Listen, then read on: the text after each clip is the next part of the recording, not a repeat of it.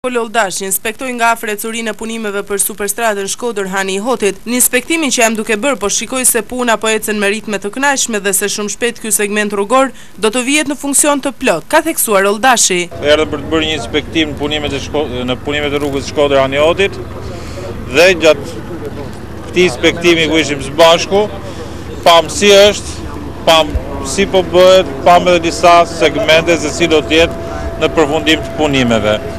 Ajo që unë do doja të veçoja është fakti që kemi kaluar fazën më të vështirë të punimeve, fazën që ka të bëjë me punimet e nëntokës në pjesën urbane të rrugës,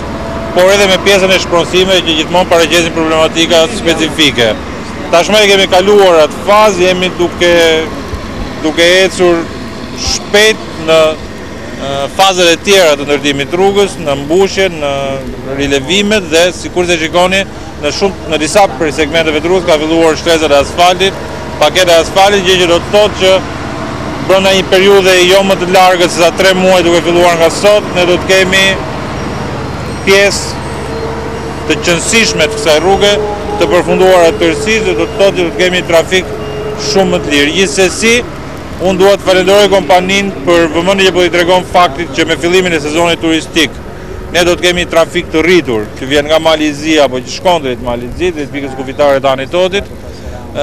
dhe do të jetë i gjithë angazhimi i kompanisë Matarrese dhe i nënkontraktorëve që punojnë këtu për ta mbajtur rrugën në një gjendje sa më të mirë të